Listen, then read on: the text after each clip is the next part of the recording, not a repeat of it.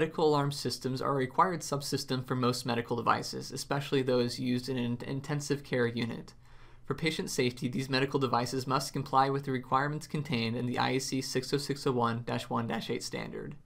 This standard details the necessary alarm-related elements for these systems, including a primary alarm, a redundantly powered backup alarm, and a visual alarm indicator.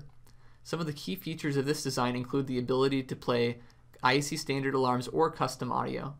The 12-bit DAC for, allows for the high fidelity audio that can exceed 48 kHz, allowing for alarm, voice, and music playback from the system.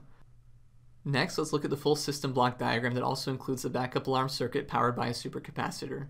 When the system is connected to line power, the supercapacitor will charge by the TPS 61094. If power is lost, this device will boost the supercapacitor's voltage to provide backup power. Loss of power will trigger the backup alarm piezo buzzer to play for the required 3 minutes.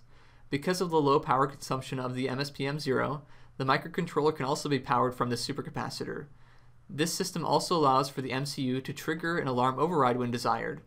The external watchdog timer provides additional redundancy, resetting the MCU in case of software hangups. The external flash option allows for larger audio files to be played as well. Additional safety features such as speaker fault detection is accomplished by measuring the current of the speaker amplifier.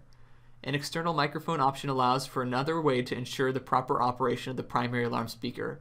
This system can be controlled from a standalone host or act independently. An integrated real-time clock on the MSPM0 also adds extra value to the system.